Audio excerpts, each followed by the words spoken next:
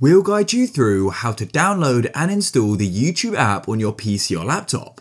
If you find this useful then please consider subscribing and liking the video. So it's super useful to be able to quickly access YouTube. So to get the app, you need to open up your web browser. So in this case, I'm using Chrome, but I've tested this in Edge and you should be able to in other browsers as well. And then come to the YouTube site and you need to go to the top right. Now to the right of the URL bar, you'll go and see this sort of icon here in Google Chrome. And when you click on it, it will say install app and we can go and install YouTube. However, in some browsers, for example Microsoft Edge, you need to click on the three dots in the top right, scroll down, and there'll be an option for apps, and you can then go and install it. I find Chrome super easy as you can just press on it and you'll then get this pop up and we can click on install and the app is then installed as you can see. And now if I close off of it, we'll go and see the YouTube app on our desktop. You can click on it and get taken straight to it. If you found this guide useful, then leave a like.